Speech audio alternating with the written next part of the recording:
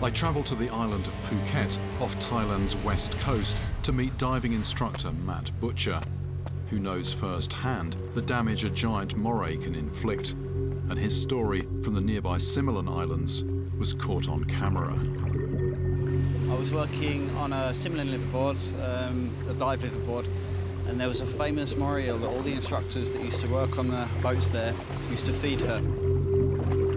She lived under a table coral, and every time divers approached her, she would swim out and investigate.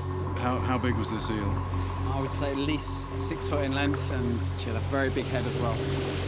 She had several names. She was called Emma by some boats, Scarface by another boats. That morning, she swam out as normal, and she played with us for a bit, and then I decided to get the food out. As I was concentrating on getting the food out, Emma, she swam behind my back, she could smell the food. Before I knew what had happened, she'd kind of latched onto my thumb.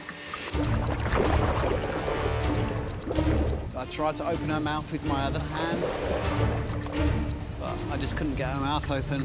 Um, she shook her head, came off with a loud pop. I looked down and I could see the knuckle where my thumb used to be. You appear to have a, a thumb now, so what's the story there? When I arrived at the hospital in Phuket, the doctor there, who was dressing my wounds, he mentioned that he had a colleague in Bangkok and he could possibly perform um, a procedure where he could take off one of my toes and graft it onto my hand to replace my missing thumb.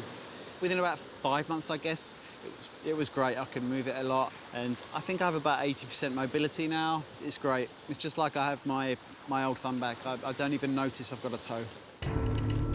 Matt's encounter had a positive ending. But if it were a giant moray that killed the tourist, that would fit with tales of sea serpents devouring helpless sailors.